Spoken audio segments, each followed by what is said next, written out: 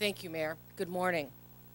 And thank you, Councilman Chupa and Councilman Keith Sadowski, for standing together with the mayor and I in this fight against blight. I will be very brief because I think the mayor has covered it all. The blight court concept isn't new. It is working in other cities, and it was starting to work here in Warren until the city council pulled the plug on it. Public hearings and expert testimony taken in Lansing by our state legislature showed that this concept would help larger cities eradicate blight.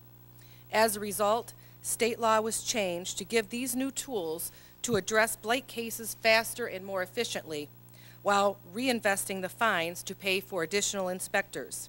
Our success in the first seven months of this program has been staggering. You've heard the numbers.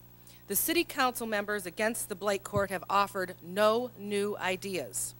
They simply want to turn back the clock on code enforcement. The people of Warren deserve better. That's why I proudly join the mayor and my colleagues in supporting a grassroots effort to put the Blight Court issue on the ballot in November. It's the best thing we can do to protect our homes, our neighborhoods, and our future. Thank you.